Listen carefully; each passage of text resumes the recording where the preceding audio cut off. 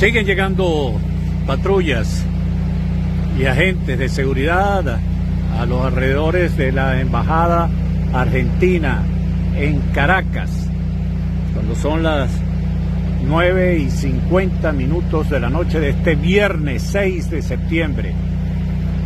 Eh, a todo lo ancho y largo de la calzada, la avenida Las Lomas de la urbanización Las Mercedes, están eh, efectivos y, están eh, patrullas pegadas al paredón. Ahí ven ustedes la bandera de Brasil, que no respetan tampoco ni la sede, que es territorio, es propiedad de Argentina, cuyos diplomáticos fueron expulsados recientemente de Venezuela. Y ahí está,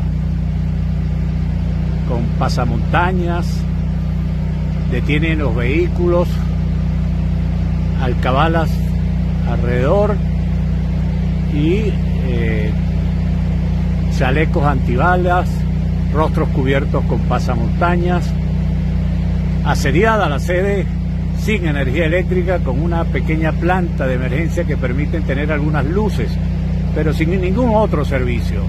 Es la situación este viernes 6 de septiembre a esta hora cuando son casi las 10 de la noche.